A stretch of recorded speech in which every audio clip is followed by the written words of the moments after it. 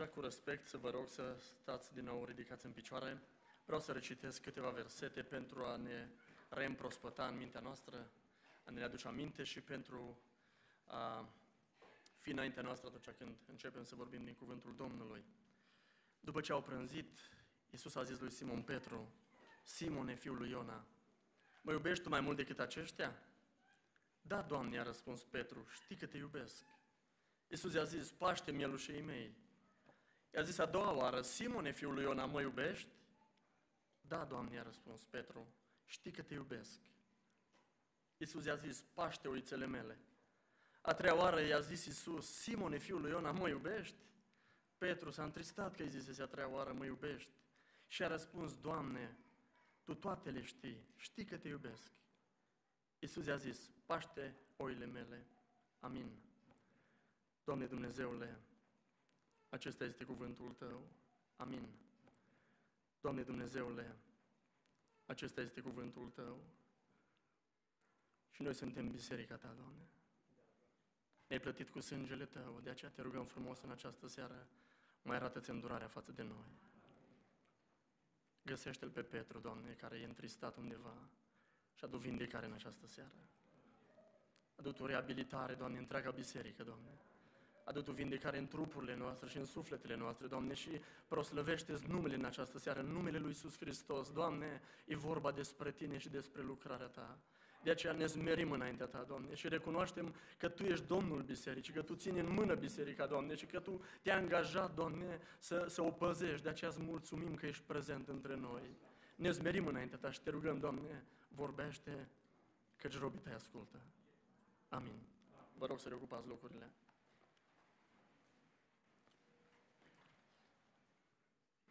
Aș vrea să vă readuc aminte că stăm în prezența lui Dumnezeu și în fața cuvântului Său. Despre cuvântul acesta, Cartea Evrei, capitolul 4 cu 12, spune că este viu și lucrător. Despre acest cuvânt, Apostolul Petru, în prima epistolă, capitolul 1 cu 25, spune că a lui Dumnezeu cuvânt rămâne în viac. Cerul și pământul vor trece, a lui Dumnezeu cuvânt rămâne în viac. Cerul și pământul vor trece, spune Domnul Isus, dar cuvintele mele nu vor trece. În Ieremia, capitolul 1, cu versetul 12, Dumnezeu îl întreabă pe Ieremia, ce vezi? Și Ieremia spune, vede un vericheator. Și Dumnezeu spune, bine ai văzut Ieremia, pentru că eu veghez asupra cuvântului meu ca să-l împlinesc. Dragii mei, Dumnezeu este prezent prin Duhul Sfânt în această seară între noi. Este prezent lângă Willy, este prezent lângă James, este prezent lângă Tim, oricum va, va chema, oricare nume să avea Dumnezeu, prin Duhul Sfânt este prezent lângă dumneavoastră. De aceea aș vrea să mă rog ca Domnul să ne dea înțelepciune, să dăm atenția cuvenită cuvântului Său. Aduceți-vă aminte de Luca, capitolul 8, unde Domnul Isus vine și vorbește despre pilda cu semănătorul, vorbește despre patru feluri de sămânță și la sfârșit spune, luați seama la felul cum ascultați. Există un mod de a asculta predici în care sărăcești, în care și ce ai piers. Există un mod de a asculta cuvântul și vii la biserică și asculți mii de predici și mergi acasă mai rău cum ai venit. Dar există un mod, de, a, de asta a spus Domnul Isus, luați seama la felul cum ascultați, pentru că există un mod de a asculta cuvântul și în modul acesta primești tot mai mult și crești ca o fără de a asculta cuvântul și în modul acesta primești tot mai mult și crești ca o floare care vezi că crește și tot mai matură și tot mai mare și are apoi e o plantă care are roade apoi și te poți bucura de roadele ei. Mă rog ca Domnul să-mi dea înțelepciune să luăm seama la modul în care ascultăm. Dragii mei, ne stă în față un text despre faliment și reabilitare. Și în acest domeniu ar fi bine să fim cât mai prudenți și să ne abținem să arătăm cu degetul pe cineva. Vă aduc aminte de avertizarea lui Pavel din 1 Corinteni, capitolul 10, 12. Spune Apostolul Pavel, așadar, cine crede că stă în picioare? Să ia seama, să nu cadă. Uh, modul cel mai corect în care mă pot apropia de Cuvântul lui Dumnezeu în această seară este să mă judec pe mine, nu pe alții. Este să mă pun în fața Cuvântului și să zic, Doamne, radiografiază ființa mea.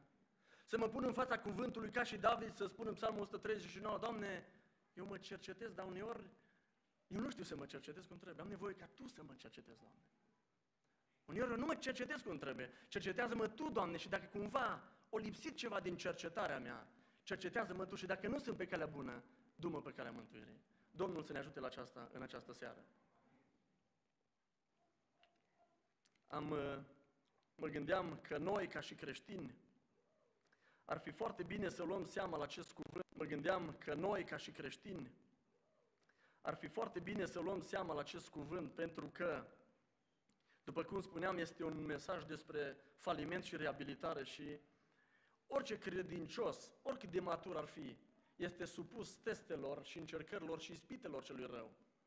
Și falimentul nu ne străin niciunuia dintre noi. Cine de aici poate să spună, n-am falimentat niciodată?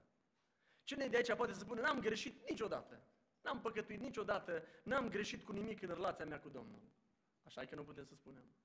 Așa e că avem nevoie din când în când să fim aduși înapoi la Hristos. Așa e că avem nevoie să ne mărturisim. De asta spune textul, mărturisiți-vă. Avem nevoie mereu și mereu să ne spălăm prin sângele lui Hristos. De aceea mi-am intitulat mesajul în această seară, Drumul de la faliment la slujire.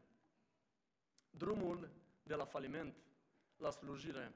Pentru că Petru, ucenicul Petru, trece printr-un faliment în noaptea încercării lui. Și apoi parcurge un drum și face niște pași ca să ajungă înapoi să-i spună Hristos, vină după mine, du-te și paște oile mele.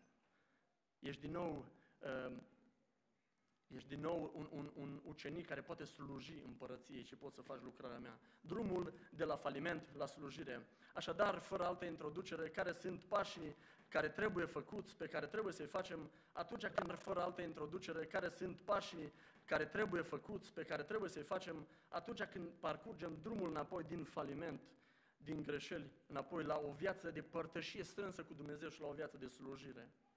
Primul pas la care vreau să mă refer în această seară este, după cum vă așteptați, pocăința. Pocăința. Un cuvânt cu care ne-am obișnuit așa de mult și pentru că ne-am obișnuit foarte mult și l-am auzit foarte mult, îi pierdem înțelesul și sensul de multe ori. Când spun pocăință în viața lui Petru, mă refer în primul rând la plânsul lui amar din noaptea aceea când a, când a greșit. Aduceți-vă aminte de acel moment din noaptea răstignire. Știți că Petru era în curtea marelui preot, la un foc de cărbuni și Isus în aceeași curte era bătut și batjocorit acolo. Dar în aceeași curte era și Petru. Și nu doar Isus era chestionat în noaptea aceea, că Petru era chestionat și el și avea și el întrebările lui la care trebuia să răspundă și în acea noapte a încercării lui, Petru s-a lepădat de Isus de trei ori. Luca, evanghelistul Luca, în capitolul 22 cu 61, surprinde un moment culminant atunci când, a treia oară, când Petru, știți că de trei ori este întrebat și spus, și tu ești cu acest om, vorba de, de gol, și tu ai fost cu el. Când a treia oară Petru este pus în, în, în fața testului și când Petru uh, se leapă de, de Domnul Isus, Petru este pus în, în, în fața testului și când Petru uh, se leapă de, de Domnul Isus, Luca surprinde acel moment și spune textul acolo, chiar în acel moment, din curte, din undeva de departe, privirea lui Isus se îndreaptă dintr-o dată spre Petru și îl țintește cu privirea lui. Petru se leapă de, de Isus și se uită la Isus în acel moment și privirile lor se întâlnesc. Și Petru a înțeles ce a făcut în momentul acela. Și s-a dus afară și a plâns cu amar. A fost momentul pocăinței când Petru s-a întâlnit cu adevărat cu Hristos. Este acel moment în care Isaia se întâlnește cu Hristos, în Isaia capitolul 6. Și când îl vede pe Domnul pe tron, Isaia zice, vai de mine, vai de mine. Sunt un om cu buze necurate și locuiesc în mijlocul unui popor cu buze necurate. Când uh, Petru se întâlnește cu privirea lui Hristos, merge afară și plânge cu amar. Pocăința adevărată cuprinde un plâns cu amar în momentul cercetării. Și mă tem, mă tem pentru un credincios care n-a plâns niciodată cu amar. Mă rog ca fiecare dintre noi să fim cercetați cu adevărat de Dumnezeu. Să ne pocăim ca și David. Uitați-vă la David din Psalmul 51. Mă, mă surprinde pocăința lui David. Nu aș vrea niciunul dintre noi să trecem prin o trecut el ca să se pocăiască. Dar pocăința lui David Nu aș vrea niciunul dintre noi să trecem prin o trecut el ca să se pocăiască. Dar pocăința lui este, este, o, este exemplară pentru fiecare dintre noi. Uitați-vă la Psalmul 51, unde David vine și spune, spală-mă cu desăvârșire de nelegiuirea mea și curăță-mă de păcatul meu, căci îmi cunosc bine fără de legile și păcatul meu stă necurmat înaintea mea. Când e nevoie să vină să spună alții, măi frate, îți arde casa, ai păcat în casa ta. nu e bine. Când Duhul Sfânt te cercetează cu adevărat, când te întâlnești cu adevărat cu Hristos, vii și, vii și spui ca și David în 51 cu 3, Doamne, îmi cunosc bine păcatul. Și fără de legea mea stă necurmat înaintea mea. Și, Doamne, când mă uit la păcatul meu, realizez că împotriva Ta am păcătuit. Dincolo de relațiile pe care le-am distrus, dincolo de problemele pe care le-am făcut în societate, păcatul meu lovește împotriva sfințeniei tale. Și când înțeleg și definez păcatul așa, mă tem de Dumnezeu și spun, Doamne, ai milă de mine și plâng cu amar. Pocăința trebuie să conțină acest punct, cu acest plâns cu amar. Dacă, dacă privim în textul de astăzi, vedem că Iisus îi pune lui Petru aceeași întrebare de trei ori. Și Petru, care s-a lepădat de Iisus de trei ori, și ucenicii care au văzut lucrul acesta și știau, Petru și-a dus în mintea lui și s-a gândit, mă întreabă de trei ori pentru că el știe ce am făcut. Acesta și știau. Petru și-a dus în mintea lui și s-a gândit, mă întreabă de trei ori pentru că el știe ce am făcut. Și eu trebuie să recunosc în fața celorlalți ce am făcut. Răspunzând de trei ori, pentru că de trei ori m-am lepădat, Petru zice, Iisus știe Iisus știe și acum îmi dă ocazia să-mi renoiesc loialitatea față de El, să mă pocăiesc cu adevărat. Pocăința înseamnă să spun lucrurilor pe nume. Să vin să spun, asta am făcut. Am greșit, să recunosc, să spun, Doamne, asta am făcut ca și David. Și să spun lucrurilor pe nume, să nu ascund cumva gunoiul sub preș. Primul pas despre care vorbim în această seară este pocăința și vreau să vă spun că există o vreme a pocăinței. Uitați-vă în Apocalipsa, capitolul 2, 21, la Izabela, Dumnezeu îi spune, i-am dat vreme să se pocăiască, dar nu vrea să se pocăiască de curvia ei. Iată că am să o arunc bolnavă în pat, iar celor ce prea curvesc cu ea, am să le trimit un necaz mare dacă nu se vor pocăi de faptele lor. Există o vreme a pocăinței. Și mă rog Domnului ca fiecare dintre noi să cunoaștem vremea pocăinței. E trist, e trist cum plânge Iisus pentru orașul Ierusalim, care n-a cunoscut vremea cercetării și vremea pocăinței. Mă rog Domnului ca să înțelegem fiecare dintre noi că astăzi, dacă astăzi Duhul Sfânt ne aduce aminte de ceva, astăzi trebuie să ne pocăim, să luăm hotărâri noi de pocăință. Privind în Scripturi, am observat că este pocăință. Privind în Scripturi, am observat că este nevoie de o pocăință particulară. Dacă eu am greșit în relația mea cu Domnul, trebuie să mă pocăiesc în particular. Dar dacă greșeala a fost publică, dacă greșeala mea a afectat comunitatea sau relațiile mele, trebuie să mă pocăiesc într-un mod public. Să vă dau un exemplu. Dacă, de exemplu, îi vând o mașină lui Marius, la Marius îi trebuie un Newt și eu am un Newt și îl vând. Și Marius mă întreabă câți kilometri are și îi spun 4.000. Dar eu știu că are vreo 200 de mii mașina. Are probleme? Nu, nicio problemă, merge foarte bine, dar eu știu că pierde ulei. Eu știu că consumă ulei, știu că mașina are probleme și eu vând lui Marius. Venim după aia, Marius circulă cu ea și își dă seama, merge la mecanic, mecanicul îi spune, domnule, YouTube ăsta are multe primăveri peste capul lui. E, e destul de așa. El își dă seama că mașina consumă ulei. Cum trebuie să mă pochez eu? Venim amândoi la cine, luăm cina, ne pocăim, eu îmi cer iertare înaintea lui Dumnezeu pentru că sunt conștient, la un moment dat, Duhul Sfânt mă cercetează. Cum mă pocăiesc eu? Pot să mă pocăiesc doar eu individual, să spun, Doamne, iartă-mă, îmi pare rău și după aceea vin apoi, mergem cu Marius amândoi, luăm cina și mergem înainte. Se poate o astfel de pocăință? Nu. Când uh, păcatul meu, greșeala mea, l-a afectat pe fratele meu, o pocăință adevărată trebuie să meargă și să spună, Marius, uite, m-a cercetat Domnul, te-am înșelat. Deodată trebuie să meargă și să spună, Marius, uite, m-a cercetat Domnul, te-am înșelat. Ți-am dat o mașină care nu e ceea ce, ceea ce ți-am spus are kilometrii ăștia, are problemele astea, probabil că ți-ai dat și tu seama, Marius, vreau să-mi repar greșeala, dă mașina înapoi și îți dau bani. Sau dacă vrei, păstrează mașina și îți dau niște bani înapoi. Pocăința adevărată, când l-au afectat pe cel din jur, înseamnă să-mi repar greșeala. Nu pot să spun, eu m-am pocăit înaintea Domnului, facă Marius ce-o vrea, treaba lui, eu m-am pocăit înaintea Domnului și mă duc înainte. Nu există așa ceva. De asta când mă uit la acest text, înțeleg că Petru are nevoie și de o reabilitare publică. Păcatul lui a afectat grupul ucenicilor. Oamenii aceștia l-au văzut pe Petru și era un lider înaintea lor, de aceea Petru avea nevoie de o reabilitare publică, pentru că în cei trei ani de activitate a grupului de ucenici al lui Isus, Petru a făcut de câteva ori câteva afirmații în fața celorlalți ucenici. Afirmații pe care noaptea lepădării sale le-a încălcat. Cum credeți că se uitau ceilalți din jur la el? Cum credeți că se raporta el acum la ceilalți din jur? Ioan 13 cu 37, Petru spune în felul următor, Doamne, i-a zis Petru, de ce nu pot veni după tine? Eu îmi voi da viața pentru tine. Doamne, eu îmi voi da viața pentru tine, spune Petru Domnului în, în fața celorlalți. Matei 26, 33. Chiar dacă toți ar găsi în tine o pricină de potignire, eu niciodată nu voi găsi în tine 33. Chiar dacă toți ar găsi în tine o pricină de potignire, eu niciodată nu voi găsi în tine o pricină de potignire, Doamne, și ceilalți. Toți ceilalți despre care vorbea Petru erau lângă el și l-au auzit. Și acum, în Ioan capitolul 21, pe malul Mării Tiberiadei, este în prezența celorlalți. Și Iisus din nou îi pune aceeași întrebare în prezența celorlalți. Ca și ceilalți să vadă cu adevărat pocăința lui Petru. Ca și Petru să poate să-și ridice din nou capul în fața celorlalți să spună, da, am păcătuit și vreau să mărturisesc loialitatea mea față de, de Domnul. Pocăința mea să fie în fața celorlalți. Hristos face o reabilitare publică pentru Petru în prezența celorlalți, este interesant de observat că la prima întrebare pe care Domnul Isus o adresează, când îi spune, mă iubești tu mai mult decât aceștia? Petru nu mai spune ca și altă dată, Doamne, chiar dacă toți ar găsi eu, tu știi că eu mă țin de cuvânt. De data asta Petru nu se mai leagă de problema celorlalți. Petru zice doar în dreptul lui, Doamne, te iubesc.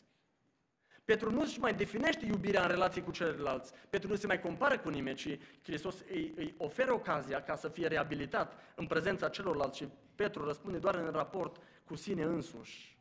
Acum nu mai crede că el îl iubește mai mult decât ceilalți, nu mai face comparație. Când Isus îi pune această întrebare, mă iubește mai mult decât ceilalți, ceilalți nu mai face comparație. Când Isus îi pune această întrebare, mă iubește mai mult decât ceilalți, se Iisus se ocupă de două sfere ale, ale, ale reabilitării lui Petru. Când spune, mă iubești, lucrul ăsta se referă în relație cu Dumnezeu, în relație cu Hristos. Dar când Iisus zice, mă iubești mai mult decât ceilalți, lucrul acesta se referă la relația lui Petru cu ceilalți. De aceea Iisus îi pune această întrebare, pentru ca Petru să poată să fie reabilitat în fața celorlalți. Repetarea întrebării de trei ori, mă gândesc că l-a durut tare pe Petru. Întreabă o dată, Doamne, te iubesc. Întreabă de două ori și când întreabă a treia oară, Petru se gândește, știe, Iisus știe ce am făcut. Dar uh, Iisus pune de trei ori întrebarea, nu pentru că Iisus avea nevoie să cunoască răspunsul la întrebarea aceasta, pentru că Iisus îl știa pe Petru. Dar ucenicii ceilalți aveau nevoie să audă întrebarea asta. Petru avea nevoie să audă el răspunsul lui la întrebarea asta în fața celorlalți, ca să poată să facă mai departe lucrarea împreună cu ceilalți ucenici. Iisus, după cum spuneam, confirmă reabilitarea lui Petru într-un mod public. Și confirmă reabilitarea lui prin faptul că de fiecare dată când Petru răspunde, Iisus îi dă o misiune. E ca și cum i-ar spune în fața celorlalți, Petre, te cred, te-ai pocăit. Au zis ceilalți, îl cred, s-a pocăit, îi dau o misiune. Dacă eu îi dau o misiune, voi să-l primiți. Dacă eu îl reabilitez, voi să-l reabilitați. Dacă eu îi dau autoritate, voi să-l primiți. Dacă eu îl reabilitez, voi să-l reabilitați. Dacă eu îi dau autoritate, voi să o luați ca din partea mea. Și Isus, după cum spuneam, nu are nevoie de alte dovezi, pentru că dacă vă aduceți aminte, Luca 22, 31-32, Isus știa dinainte ce se va întâmpla. De aceea spune, Simone, m-am rugat pentru tine ca să nu se piardă credința ta și după ce te vei întoarce la Dumnezeu, să întărești pe frații tăi. Dacă, ar fi fost, dacă am fi fost noi în locul lui Isus, oare ce am fi spus? Să fi făcut Petru lucrul ăsta în adunarea noastră. Poate eu aș fi spus, Petre, ai făcut o lată, ușier ai putea să fii. Uite, este un post, l-a spălat în baie, poți să fii acolo, dar nu, nu mai merge aia. Nu mai merge. Deci nu mai, nu mai poți să vii să cânți, nici, nici măcar să-i duci suportul la Willy. Nu, nu, nu, nu te atingi lucrurile astea în fața. Acolo în spate, mături strada. Dar Isus vine și îl reabilitează pe Petru pentru că Isus vede pocăința adevărată din nou. Mă rog Domnului să ne dea înțelepciunea să vedem ceea ce vede Dumnezeu. Când Dumnezeu vede un suflet care s-a pocăit și s-a întors la Dumnezeu, mă rog Domnului, Doamne, dă sensibilitatea să văd și eu ce vezi Tu. Mă rog Domnului să nu-mi permit să apăz eu ceea ce Dumnezeu nu mai apasă. Să nu-mi permit eu să leg eu ceea ce Hristos nu leagă. Să nu-mi permit să eliberez eu ceea ce Hristos nu eliberează. De aceea avem nevoie de sensibilitate din leagă. Să nu-mi permit să eliberez eu ceea ce Hristos nu eliberează. De aceea avem nevoie de sensibilitate din partea Duhului Sfânt.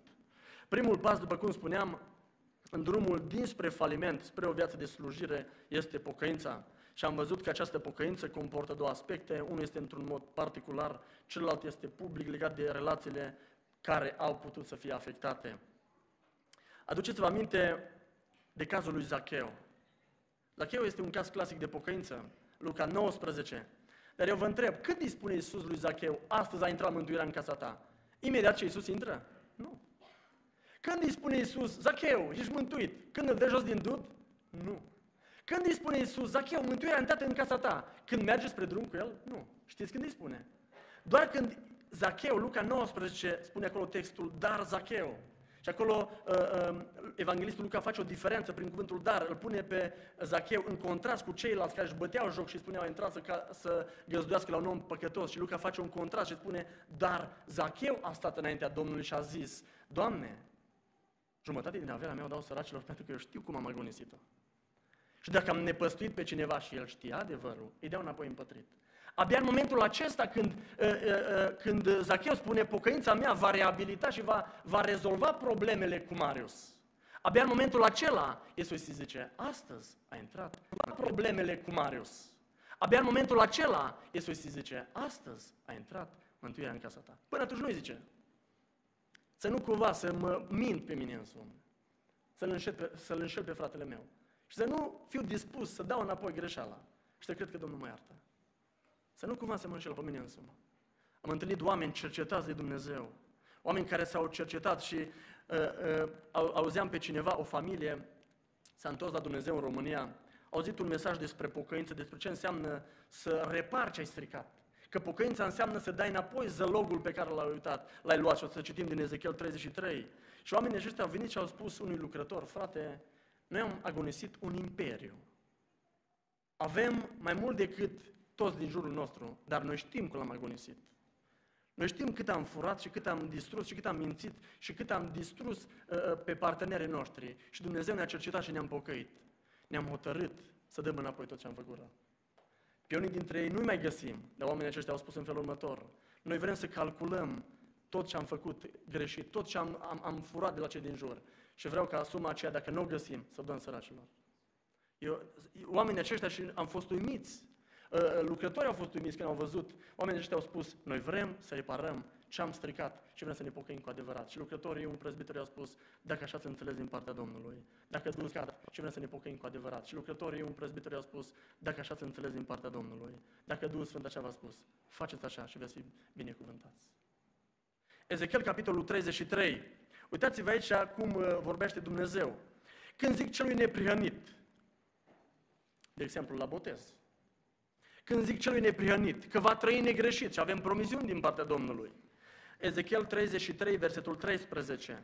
Dacă se încrede în neprihănirea lui și se vărșește nelegiuirea, atunci toată neprihănirea lui se va uita și el va muri din pricina nelegiuirii pe care a săvârșit-o. Din potrivă, când zic celui rău, vei muri, că Dumnezeu uneori zice, uh, cel puțin în Vechiul Testament, vine și aduce uh, astfel de, astfel de sentințe în vederea pocăinței, ca și la Ninive, încă 40 de zile și Ninive va fi nimicită. A fost o sentință în vederea pocăinței. Versetul 14, Ezechiel 33, când zic celui rău, vei muri, dacă se întoarce de la păcatul lui și face ce este bine și plăcut, doar atât? Nu. Zice, dacă dă înapoi zălogul, întoarce ce a răpit, urmează învățăturile care dau viață și nu săvârșește nicio nelegiuire, va trăi negreșit și nu va muri. Toate păcatele pe care le-a săvârșit se vor uita, a făcut ce este bine și plăcut și va trăi negreșit. Pocăința, după cum spuneam, comportă două valențe, două aspecte. O pocăință personală în care plâng cu amar înaintea Domnului. Comportă două valențe, două aspecte. O pocăință personală în care plâng cu amar înaintea Domnului. Și mă rog Domnului să plângem cu amar atunci când e vremea să plângem. Să nu trecem ușor peste lucrurile grave din viața noastră, să ne pocăim cu adevărat. Și într-al doilea rând, pocăința comportă anumite lucruri publice pe care eu trebuie să le repart în relația mea cu fratele meu. Domnul să ne dea înțelepciunea și puterea să facem lucrul acesta, dragii mei. E nevoie de un preț. E nevoie să mă hotărăsc, Doamne, de astăzi înainte, vreau să trăiesc drept. Și ce am făcut lui Marius, trebuie să dau înapoi, ca și el să vadă că de astăzi mântuirea a uitat în casa mea. Domnul să ne ajute la lucrul acesta. Mergem mai departe. Un al doilea pas pe care trebuie să-l fac din drumul uh, dinspre faliment, spre reabilitare, spre slujire în Împărăția lui Dumnezeu, este redobândirea motivației corecte. Trebuie să redobândim motivația corectă în tot ceea ce facem noi în relație cu Dumnezeu și această motivație este iubirea de Dumnezeu. Putea Iisus să-l întrebe pe Petru alte întrebări. Măi Petre, te-ai gândit tu bine dacă o să poți să ții de acum înainte pocăința? Măi Petre, uite, nu te vreți să te duci la o facultate de teologie. Măi Petre, nu te gândești să te faci pianist. Da, Iisus îi pune trei întrebări fundamentale lui Petru, de fapt aceeași întrebare de trei ori. E singurul lucru care contează, parcă, în momentul acesta, în, în relația dintre Petru și Hristos, în, dintre Petru și Dumnezeu și pe drumul lui, un singur, în, în relația dintre Petru și Hristos, în, dintre Petru și Dumnezeu și pe drumul lui, un singur lucru contează. Dacă îl iubești sau nu pe Iisus. Petre, mă iubești tu? Mă iubești? Mă iubești? Mă iubești? Putea să-i pună o, mul- o mulțime de întrebări, dar Isus se referă la cel mai important aspect din relația noastră cu Dumnezeu și din relația noastră cu ceilalți și din relația noastră cu slujirea în împărăția lui Dumnezeu, și anume motivația aceasta, iubirea de Dumnezeu. Îți dorești o viață de slujire? Iubește-L pe Dumnezeu. Începe de aici. Îl dorești să fii un om implicat în împărăția lui Dumnezeu, să slujești pe lui Dumnezeu când bați un cui, să slujești lui Dumnezeu când sap cu, cu, cu, cu bachetul undeva, cu cu ce faci acolo, nu știu, cu, uh, cu excavatorul sau cu, cu o lopată, când ești la office, când ești, când ești la școală, îți dorești să slujești pe Dumnezeu în toate aspectele vieții tale, începe să-L iubești pe Dumnezeu cu adevărat. Când îl iubești pe Dumnezeu cu adevărat, toate lucrurile se schimbă.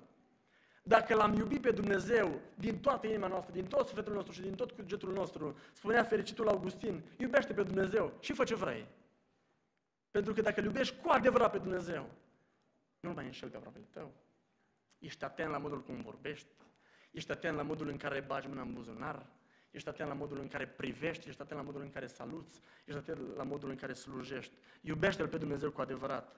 Ești atent la modul în care saluți, ești atent la modul în care slujești. Iubește-L pe Dumnezeu cu adevărat. Este adevărat, dragii mei, există multe motive de slujire. Poți să-L slujești pe Dumnezeu din diferite motivații.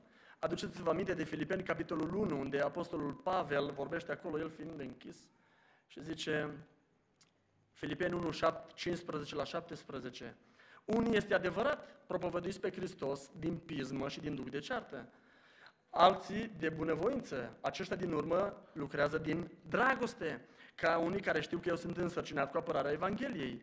Cei din tâi, din duc de ceartă, vestesc pe Hristos nu cu gând curat, ci ca să mai adauge un necaz la lanțurile mele. Iisus îl întreabă pe Petru dacă îl iubește. Și la, de fiecare dată când Petru spune, Doamne, te iubesc, Iisus zice, e destul, fă lucrarea mea. Mă iubești? Te iubesc, Doamne. Paște mie mei, paște mielușei mei, ocupă-te de oile mele. Pentru că toată Scriptura, spunea Domnul Isus în Matei 22, toată Scriptura pe care era cunoscută la vremea aceea, spunea Domnul Isus, se rezumă la iubire. Toată legea și prorocii se rezumă la această poruncă să-L iubești pe Domnul Dumnezeul tău cu toată inima ta, cu tot sufletul tău și cu tot cugetul tău și pe aproapele tău ca pe tine însuți. Haideți împreună cu mine în cartea Apocalipsa, ce vreau să și pe aproapele tău ca pe tine însuți. Haideți împreună cu mine în cartea Apocalipsa. Ce vreau să întreb, câți dintre dumneavoastră aveți scripturi? Haideți să le ridicăm sus. Bibliile sus. Câți aveți mai sus? Câți, câți? Hai să vedem, tineri, sus cu ele. Sus? Trebuie să mai cumpărăm niște Biblii. Nu știu dacă găsim vreun sponsor um, să le aducem cu noi. Apocalipsa, capitolul 2. Uitați-vă ce zice Dumnezeu acestei biserici, biserica din Efes. Știu faptele tale, ostenala ta și răbdarea ta și că nu poți suferi pe cei răi. Uitați-vă câte calități are această biserică. Știu că ai pus la încercare pe cei ce zic că sunt apostoli și nu sunt și ai găsit mincinoși. Știu că ai răbdare, că ai suferit din pricina numelui meu și că n-ai obosit. Dar ce am împotriva ta? E că tu nu mă mai iubești. Ai atâtea lucruri bune. Ești atent ești răbdător, ești implicat, ești atent la doctrina corectă, ești, ești, ești, ești uh, foarte uh, implicat în faptele tale, în osteneala ta, în răbdarea ta, ești atent la lucrare, la nevoile lucrării, dar tu ai un lucru esențial care îți lipsește. Tu nu mă mai iubești. Tu nu mă mai iubești. Cum te-ai simțit, Dani, ca soția ta să facă toate lucrurile din casă? Să facă curat, mâncare, tot. Dar tu să știi că ea nu te iubește. Curat, mâncare, tot. Dar tu să știi că ea nu te iubește. Cum te-ai simțit ca soție, să știi că soțul tău merge la lucru, vine, face tot, dar el nu are niciun sentiment, nu te iubește deloc. Acestei biserici Iisus îi spune, tu nu mă mai iubești. Ai pierdut cel mai esențial lucru din relația cu mine. De aceea trebuie să-ți aduci aminte de unde ai căzut, să te pocăiești, să te întorci la faptele tale din tâi. Dragii mei, ce anume mă motivează în ceea ce fac? Pentru că Dumnezeu în această seară te întreabă, mă iubești pe adevărat? Întrebarea lui Petru este adresată în primul rând lui Traian, apoi celorlalți frați, la fiecare dintre noi. Ce anume te motivează să vii la biserică? Ce anume te motivează să vii în seara aceasta la biserică? Uneori, eu trebuie să mă cercetez în relația mea cu Dumnezeu, ca nu cumva să fiu foarte implicat în lucrare de dragul meu. Eu pot să slujesc Domnului ani de zile și să fiu foarte plin de râvnă și nimeni să nu-și dea seama. Dar motivația mea să fie iubirea de mine. Una dintre cele mai mari pericole pentru omul din biserică este iubirea de sine. Pentru că, mă scuzați, dacă mi-e lucrarea, dacă mi-e slujba, mă supăr. Dacă nu sunt dispus să las pe altul lângă mine, lucrarea aici și eu fac așa. Eu pur și simplu mă identific cu lucrarea și dacă cineva mi e lucrarea, fac urât. Eu pur și simplu mă identific cu lucrarea și dacă cineva mi e lucrarea, fac urât. Eu slujesc și sunt foarte implicat în lucrare de dragul meu. Pentru că asta îmi dă valoare în fața celorlalți. Pentru că am o anumită imagine când slujesc. Și eu pot să fiu foarte pasionat și să slujesc ani de zile. Și eu trebuie, noi, trebuie să fim foarte atenți tot timpul să ne întrebăm, Doamne, ajută-mă să nu cumva să slujesc de dragul meu. Să nu cumva să slujesc de dragul imaginii. Multă vreme, la un moment dat mă întrebam, Doamne, de ce merg la biserică? Păi merge mama. Dacă n-ar merge mama, aș mai merge? Dacă nu m-ar vedea nimeni, dacă ar fi dintr-o dată într-o țară străină, singur, aș mai merge la biserică. E bine uneori să avem rușine de frați. Dar trebuie să am grijă ca nu cumva motivația mea în lucrarea lui Dumnezeu să fie ochii celorlalți și imaginea mea în fața publicului și iubirea de sine. De asta trebuie să mă întreb și eu ca și Petru în această seară trebuie să-mi pun întrebarea, Traian, Simone, fiul lui Iona, mă iubești pe mine, pe Isus, sau te iubești pe tine? Și una dintre rugăciunile mele în care stau înaintea Domnului, tot timpul mă întreb și mă gândesc, Doamne, mântuiește-mă de mine însumi. Mântuiește-mă de mine însumi, ajută-mă să te am pe tine mereu înaintea ochilor mei, ca și David din Psalmul 16, am necurmat pe Domnul înaintea ochilor mei și atâta să privesc la tine, Doamne, atâta să te privesc, atâta să, să, te, să te iubesc până când să uiti de mine. Și atâta să privesc la tine, Doamne, atâta să te privesc, atâta să, să, te, să te iubesc până când să uiti de mine. Până când în relația mea cu tine să mai fiu, Doamne, eu, eu, eu. V-ați analizat vreodată rugăciunile? Am stat la un dat și mi-am analizat rugăciunile mea, seama că eram eu în centru. Doamne, ajută-mă! Doamne, binecuvântează familia mea. Și când mulțumeam, eram eu în centru, da, spuneam, Doamne, îți mulțumesc că m-ai păzit, m-ai binecuvântat, îți mulțumesc că te-ai ocupat de mine, centrul Universului. Până când Dumnezeu m-a conștientizat și mă rog, Doamne, mântuiește-mă de mine însumi. Ajută-mă să uit de nevoile mele, ajută-mă să las la o parte egoismul meu, ajută-mă să încep să mă investesc în, în alții, să caut să pun pe altcineva pe primul loc, să caut să rup acest egoism firesc din mine. Fiecare dintre noi ne naștem cu un egoism în noi. O fire pământească care trebuie să fie răstignită în fiecare zi. De aceea mă rog, Doamne, mântuiește-mă de mine însumi. Domnul să ne ajute la lucrul acesta. În Psalmul 91 vorbim de iubirea de Dumnezeu, de redobândirea motivației corecte pentru slujire. În Psalmul 91 cu 14, acolo cuvântul Domnului spune în felul următor, fiindcă mă iubește, zice Domnul, de aceea îl voi ocroti. Fiindcă mă iubește. Dumnezeu nu e impresionat dacă cunoști toată Scriptura, dar nu-L iubești pe El. Nu-L impresionează pe Dumnezeu să dau milioane de euro, milioane de dolari în viața mea. Nu ne presionează pe Dumnezeu să dau milioane de euro, milioane de dolari în viața mea. Dacă nu-L iubesc pe Dumnezeu cu adevărat, praf și pulbere se arată de viața mea. De aceea tot timpul să, trebuie să mă întreb, Doamne, cercetează-mă.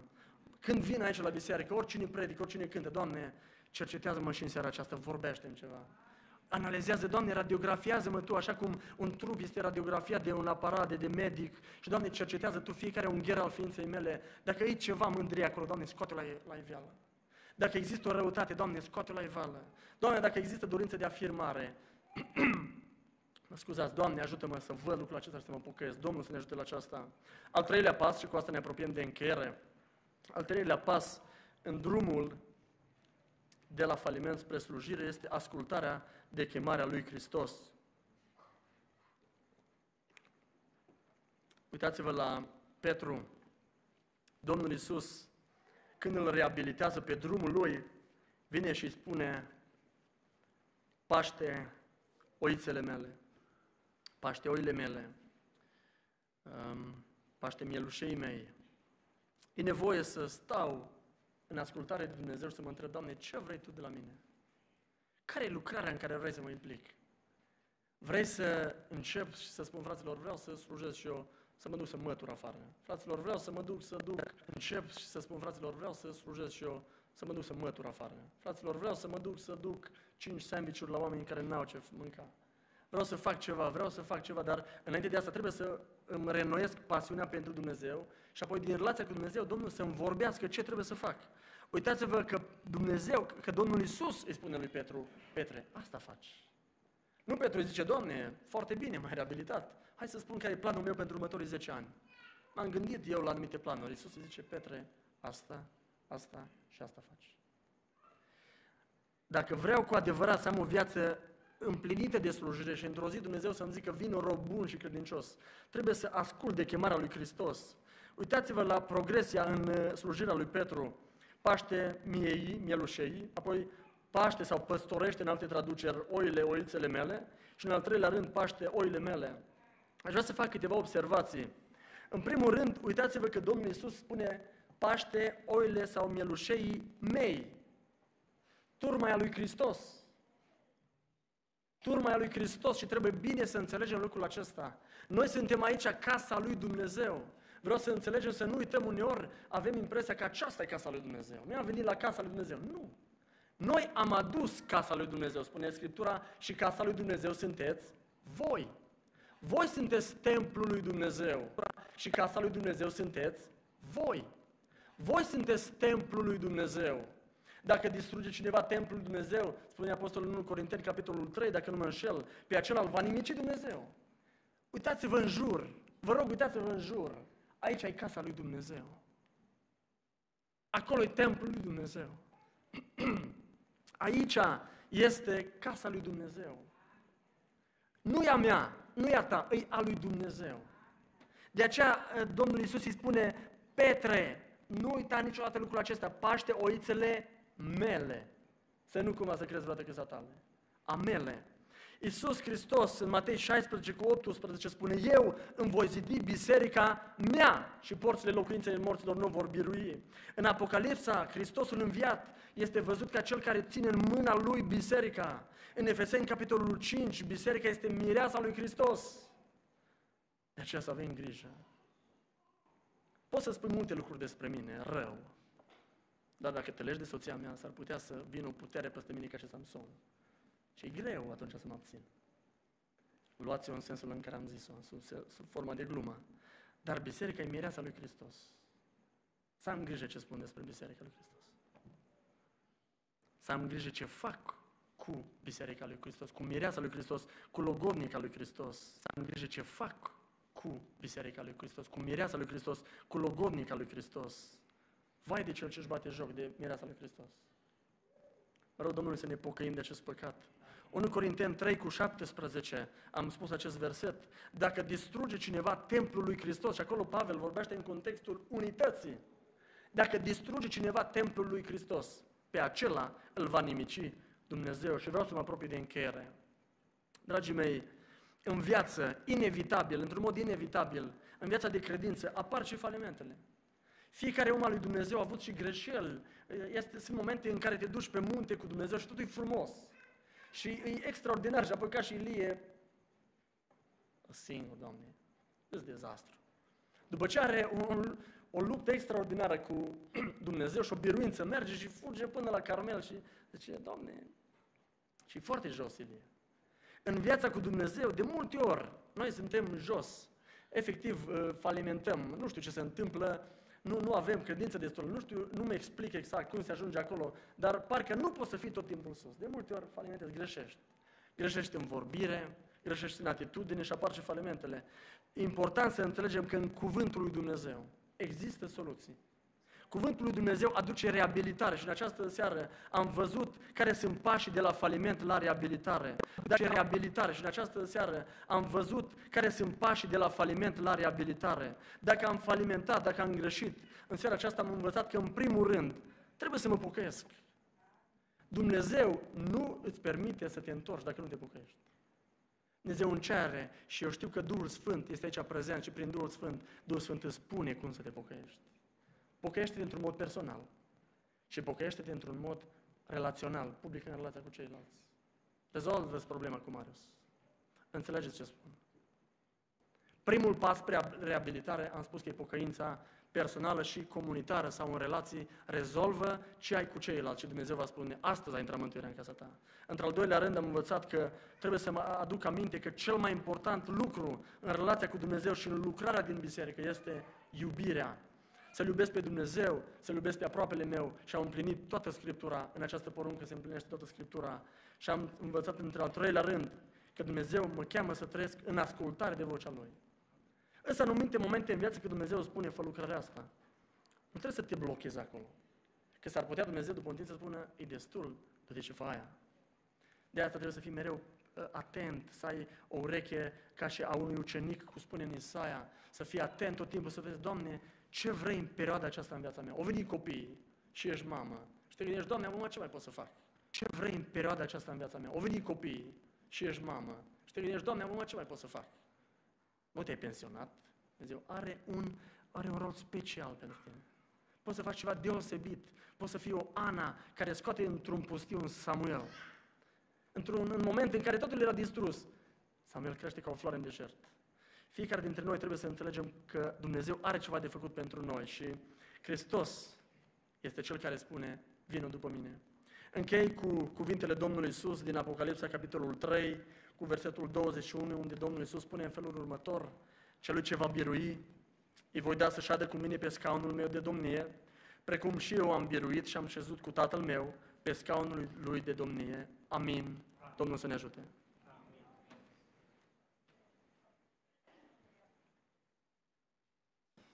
Slăvit să fie Domnul!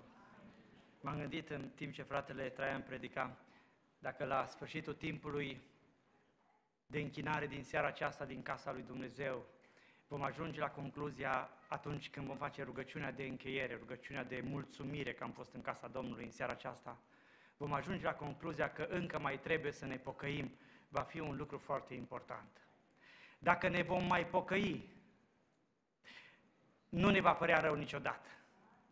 Dacă nu ne pocăim, s-ar putea să ne pară rău și aici, nu ne va părea rău niciodată. Dacă nu ne pocăim, s-ar putea să ne pară rău și aici, dar cu siguranță în viața eternă, care să nu fie cu Dumnezeu. Doamne, nu lăsa pe nimeni din seara aceasta să ajungă acolo. Am vrea toți să ne mai pocăim. Ați văzut, frații mei, oricât de mare, oricât de sfânt, oricât de în altă poziție, chiar în lucrarea lui Dumnezeu, are cineva, are loc pentru pocăință. M-am gândit uh, de ce numai Ioan redă acest moment al reabilitării lui Petru. Toți evangeliștii scriu despre căderea lui Petru, despre trădarea lui Petru. Și cu atâta satisfacție predicăm noi uneori despre trădarea lui Petru și uh, zicem, Doamne, dacă Petru a avut șansă la tine și eu am șansă la tine și slăvit să fie Domnul, că așa am înțeles din seara aceasta, din cuvântul Său, că fiecare dintre noi are șanse în fața lui Dumnezeu. Dar m-am gândit de ce n-au scris și ceilalți evangeliști despre reabilitarea lui Petru, că au scris despre trădare toți. Nu știu cât ați pus întrebarea aceasta. Eu m-am gândit și mi-am mai pus o altă întrebare. Culmea, în curtea marelui preot, acolo unde Petru s-a lepădat de Domnul Isus, n-a fost decât un singur evanghelist. Știți care a fost? A fost Ioan. Petru s-a lepădat de Domnul Isus, n-a fost decât un singur evanghelist. Știți care a fost? A fost Ioan. Cum de-au auzit ceilalți? De unde au auzit ceilalți? Sunt multe răspunsuri care am putea să le dea. Cele mai bune și potrivite pentru noi ar fi uh, copia lui Dumnezeu. Nu, nu Ioan. Slujnica s-a dus repede. Aprozii, soldații care erau acolo, l-au auzit și imediat a povestit la toți. E posibil să se fi întâmplat așa. Dar m-am gândit, de ce Ioan vorbește despre reabilitare? Nu cumva Ioan s-a dus și el afară, la ceilalți, bă, știi ce a făcut Domnul?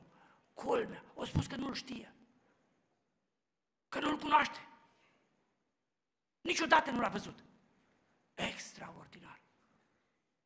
Și mă gândesc că printre cei ce s-au pocăit alături de Petru, cred că a fost și Ioan dacă s-a întâmplat așa cu el. Nu știu, o să avem ocazia să-l întrebăm în veșnicie. Ioan, tu cumva ai suflat la ceilalți ucenici de așa de cum flăcărare au scris toți despre evenimentul acesta? despre episodul acesta? Este posibil. Dar ce aș vrea să învățăm noi de aici, frații mei? Atunci când se întâmplă catastrofe în viața copiilor lui Dumnezeu, căderi, că toți experimentăm căderi și ce bine că nu cădem toți deodată când Dumnezeu, căderi, că toți experimentăm căderi și ce bine că nu cădem toți deodată când ne-am înțelege așa bine unii cu alții, dar cădem pe rând și atunci pe rând ne și povestim. Că dacă am fi toți deodată în biruință și toți deodată în cădere, toți am tăcea, toți ne-am ajutat, toți ne-am întinde mâinile. Dar cum cade unul, cum pe el, cu, așa cum spunea fratele? Frații mei, nu cumva Ioan o fi simțit nevoia să spună, să scrie asta, că Domnul l-a reabilitat. Cum l-a reabilitat? Cum s-a îndurat Domnul de Petru? Frații mei, e așa de ușor E așa de ușor să ajungi în prăpastie. Fratele uh, Traian spunea uh, că Domnul i-a pus pe inimă să intituleze acest mesaj de la cădere sau de la faliment la reabilitare. Eu m-am gândit de la Petru la Domnul Isus. Drumul de la Petru la Domnul Isus, frații mei, e așa ușor să, să faci drumul de la, de la marele preot la Pilat. Să fii aici la învod, să predici și să ajungi lângă Pilat, să spui cu el la moarte. Așa de ușor și așa de s-au întâmplat lucrurile astea. De aceea tragem semnale de alarmă. Doamne, nu ne lăsa pe noi. Pentru că se poate întâmpla oricui. Se poate întâmpla oricui. Drumul de la marele preot până la Pilat, până lângă Irod, nu a fost lung, a fost scurt. Până la Pilat, până lângă Irod, nu a fost lung, a fost scurt. Probabil că o prăpastie mare între el, nici nu mai a avut cum să sară până dincolo. Direct a ajuns lângă Pilat, marele preot, care trebuia să, să fie primul și să ia apărarea Domnului Isus. Și el dă mâna cu Pilat și cu Irod ca să-l condamne la moarte pe Domnul și Mântuitorul nostru, pe Fiul lui Dumnezeu venit din ceruri. Frații mei, v-ați gândit ce ușor se poate aluneca și se poate cădea. Am văzut pași de reabilitare, dar frații mei, aș vrea să, să vă conștientizez de câteva lucruri care să fim atenți în fiecare moment al vieții noastre. De ce putem ajunge? Cum putem ajunge într-o astfel de stare? De cădere spirituală, de faliment spiritual, de dezastru spiritual. Foarte ușor. Au fost mari titani ai credinței pe care, despre care am auzit și care au plecat dintre oamenii lui Dumnezeu, din poporul lui Dumnezeu. De ce? Pentru că au avut un moment ca acela lui Petru, și n-a putut să se mai reabiliteze niciodată. N-a avut puterea să se pocăiască și să facă pașii despre care ni s-a predicat în seara aceasta înapoi, spre pocăință. Așa de puțini oameni au puterea aceea a, a tăria aceea care cred că numai Dumnezeu o dă oamenilor, a, a tăria aceea care cred că numai Dumnezeu o dă oamenilor ca să se pocăiască și să se întoarcă înapoi, să-și spună păcatele și să, să vină înaintea Domnului și să, să nu îi pese de nimic decât de reabilitarea lui Dumnezeu. Dar de ce s-a întâmplat cu Apostolul Petru o astfel de situație, frații mei? Poate în primul rând, așa cum multora dintre noi ne este tare familiar termenul acesta. Așa suntem de sigur pe noi, așa ni se pare că suntem de pe stâncă și de, de, cu picioarele pe pământ în ceea ce privește credința, încât ni se pare că pe noi nimeni niciodată nu ne poate spulbera. Frații mei, să nu avem această auto-înșelare, această auto-încredere în noi înșine, că este dramatică, poate fi catastrofală, așa cum a fost Petru Petru. Petru a zis, Doamne, eu? Dar cum? Purtătorul de cuvânt al ucenicilor, omul care și-a câștigat locul în slujire, ă, ă, locul în, între ucenici prin slujirea lui, că Petru era întotdeauna numărul unu. Și nimeni nu i-a contestat această poziție. Dar de ce? pentru că a slujit cu o inimă bună pe Domnul. Dar a avut un moment catastrofal, un moment de neveghere, un moment în care a căzut.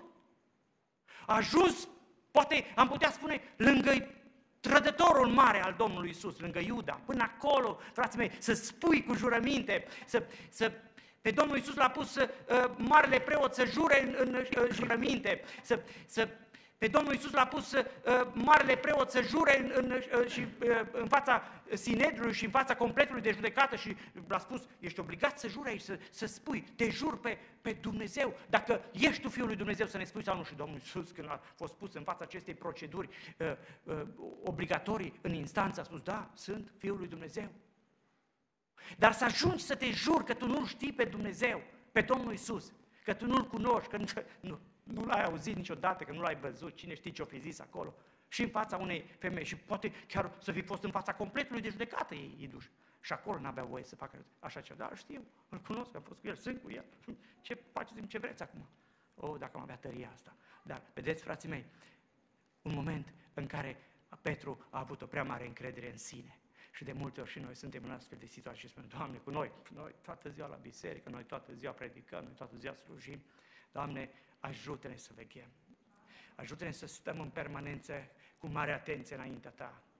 Pentru că, frații mei, un moment din acesta este fatal, este catastrofal, ne poate costa veșnicia. Nimeni nu te mai poate reabilita după ce ai plecat din lumea aceasta. Nimeni nu te mai poate ajuta. Aici și acum, în seara aceasta, ai șansa și ocazia, pentru că mâine nu știi dacă vei mai fi în viață sau dacă voi mai fi în viață. Nu, în seara aceasta trebuie să facem acest pas al pocăinței. Fi în viață sau dacă voi mai fi în viață. Nu, în seara aceasta trebuie să facem acest pas al pocăinței despre care ni s-a predicat. Și indiferent cât ar costa lucrul acesta și indiferent ce ar trebui să ne coste lucrul acesta, să nu ne pară rău, să o facem. Domnul să ne ajute. Apoi, un alt lucru care cred că l-a costat pe Petru această cădere extraordinară, acest faliment, este poate faptul că s-a așezat într-un loc nepotrivit. El, săracul, din drag, cred că, de Domnul Isus, împreună cu Ioan, s-a stricurat până în curtea marelui preot. Până acolo unde, unde la focul acela de, de cărbuni, focul acela de lemne care ardeau acolo, s-a trădat de Domnul și Mântuitorul lui. S-a așezat, fraților, uneori mi se pare că a sta lângă oameni cu poziție, lângă oameni cu vază, lângă oameni importanti, merită să faci orice efort. Merită să, să săriști. Ne place când alții râd și își bat joc de pocăiți, poate, sau de Domnul, sau și mai zâmbim și noi acolo, mai scoatem și noi poate o, hm, un, un murmur, poate demonstrativ, că nu suntem în de- dezacord cu ei.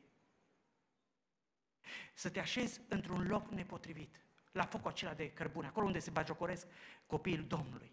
Să, să accepti atunci când vezi că cineva vorbește de rău pe frații tăi, să fii alături de ei, pui și tu o vorbă acolo, mai pui și tu un lemn acolo pe foc. De ce să nu? Când vorbește de rău pe frații tăi, să fii alături de ei, pui și tu o vorbă acolo, mai pui și tu un lemn acolo pe foc. De ce să nu continuă? Ai auzit o vorbă rea despre un frate, despre o soră și repede. Și tu mai pui un lemn acolo. Să te așezi într-un loc nepotrivit. Frații mei, nu toate locurile sunt potrivite pentru copiii Domnului. Nu în orice loc putem merge noi. Nu oriunde și cu orice preț putem accesa orice uh, site-uri și uh, să vedem orice uh, imagini. Nu! Nu ne putem, nu avem voie să ne așezăm în orice loc. De aceea, mare atenție să avem pe drumul acesta spre Împărăția lui Dumnezeu. Frații mei, m-am gândit, de ce Domnul Isus nu a spus când a înviat ucenicilor, apostolilor, care s-au dus acolo, că au venit și ei imediat după femei. Duceți-vă și spuneți lui Petru să vină, că vreau să-l văd pe Petru. A spus la niște femei. V-ați gândit la asta? N-a spus lui Ioan, nici măcar lui Ioan, care îl iubea așa de mult pe Domnul, el a, fost pe, a pus capul pe pieptul Domnului Isus. A spus la niște femei, duceți-vă și spuneți-le că vreau să mă întâlnesc cu ei în Galileea, dar nu uitați de Petru. Și numai un evanghelist scrie iarăși lucrul acesta. Numai Marcu scrie lucrul acesta. Dacă n-ar fi scris Marcu, cred că Marcu, uh, obligat, obligat Duhul lui Dumnezeu să scrie acolo, pentru ca să vedem episodul reabilitării lui Petru pornind de la Domnului Iisus. Obligat Duhul lui Dumnezeu să scrie acolo, pentru ca să vedem episodul reabilitării lui Petru pornind de la Domnul Iisus. Nu de la Petru, Duceți-vă și spuneți și a spus prin femei, transmit mesajul, frații mei, frații mei, noi toți știm și chiar cât de bărbați suntem noi, uh, surorile au o inimă mai maleabilă, mai bună, mai aproape de Dumnezeu mai, mai gata să-L primească pe Dumnezeu, mai gata să primească cuvântul. O inimă care mai gata știe, mai repede știe să ierte decât a unui bărbat. Așa ai făcut omul, așa a făcut Dumnezeu omul și femeia. Și probabil, Doamne, dacă îi spun lucrul acesta femeilor, femeile se vor duce. Dacă îi spun la ucenicii ăștia, poate invidioși unul pe alții, eu știu, se gândesc, s-au gândit și înainte la poziții. Dacă nu îi spune. Și nu vine Petru. Petru năcăjit acum. Domnul, cred că o știut cum să aleagă soluția aceasta. Și apoi, în al treilea rând, pe lângă faptul că n-a vegheat când trebuia să vegheze, că s-a așezat într-un loc nepotrivit, că a avut această mare încredere în sine, frații mei. Știți ce a făcut Petru? Când Domnul Iisus i-a spus, haideți cu mine să vă rugați, ei s-au culcat, au dormit, erau într-adevăr obosiți. Dar când trebuie să te rogi, să dormi. Este un alt motiv pentru care e posibil Petru să fie ajuns în această fază a falimentului. Este un alt motiv pentru care e posibil Petru să fie ajuns în această fază a falimentului lui. Atunci când trebuie să te rogi, acum este vremea să te rogi. Am vorbit cu frați care erau pe patul de spital și au spus, da, frate, nici să mă mai rog nu mai pot, așa durerea. Nu mai pot, nici nu stă capul acolo. Acum mă gândesc, atunci mă tot gândesc, Doamne, de ce m-ai lăsat așa? Dar de ce eu? Dar de ce să sufăr? N-ai timp, nu te mai poți ruga cu inima aceea. Când, dacă atunci când trebuie să te rogi, dormi, este posibil să ajungi într-o situație de aceasta de faliment. Doamne, ajută-ne să înțelegem cât de important este momentul acesta a rugăciunii. Și rugăciunea, frații mei, atunci când ești bine, când ești în sănătate, spunea cineva, Doamne, când ești pe patul de bă, spital, când ești bolnav, în suferință, cine mai poate posti, cine se mai poate ruga? Așa de puțin pot să o fac atunci. Dar acum când suntem bine, în sănătate, acum avem posibilitate, avem ocazie, avem și puterea să facem lucrul acesta. Doamne, conștientizează-ne de această mare nevoie a rugăciunii și Domnul să ne ajute la lucrul acesta. Doresc din toată inima că momentul acesta al reabilitării lui Petru, din care s-a predicat în întreaga zi de astăzi, Domnul să cerceteze biserica din Per, Domnul să folosească acest cuvânt pentru trezirea noastră, pentru îmbărbătarea noastră, pentru conștientizarea noastră, că nu este niciodată niciodată prea mult să ne mai pocăim. Doamne, ajută-ne la aceasta. Amin. Vă invit să ne ridicăm înaintea Domnului și să ne rugăm Domnului să ajute-ne la aceasta. Amin. Vă invit să ne ridicăm înaintea Domnului și să ne rugăm Domnului, să mulțumim Domnului pentru cuvântul sfânt, pentru faptul că am fost împreună în casa Domnului, pentru că în seara aceasta Domnul încă are timp să-și facă pentru noi să ne mai întrebe dacă îl iubim. Și dacă îi vom răspunde cu sinceritatea cu care i-a răspuns Petru în seara aceea a întâlnirii cu Domnul Isus, în ziua aceea a întâlnirii lui cu Domnul Isus la Marea Tiberiadei, Domnul va fi gata să ne reabiliteze și pe noi, indiferent cât de jos, cât de rău, cât de mult am fi greșit înaintea Domnului. Dacă venim cu aceeași inimă ca lui Petru, Domnul este gata să o facă. Haideți să rugăm, Doamne, până nu plecăm acasă, până nu începem o altă săptămână, te rog, rezolvă problema aceasta a reabilitării noastre înaintea ta și a pocăinței noastre, pentru că vrem să nu pierdem cu niciun chip veșnicia și Domnul să ne ajute. Apoi uh, ne rugăm încă o dată pentru frații care călătoresc și încredințăm în brațul puternic al Domnului și pe ei și pe noi care rămânem aici și Domnul să fie cu noi în restul călătoriei pe pământ. Amin.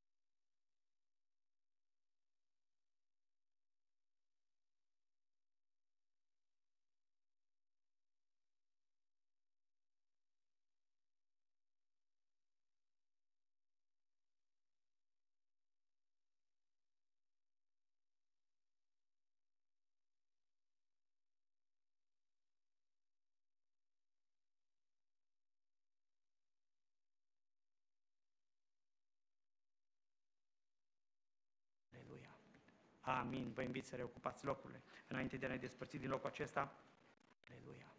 Amin. Vă invit să reocupați locurile. Înainte de a ne despărți din locul acesta, aș dori pentru frații și surorile care călătoresc să transmit cuvânt de salut pentru bisericile unde călătoriți, pentru familiile dumneavoastră.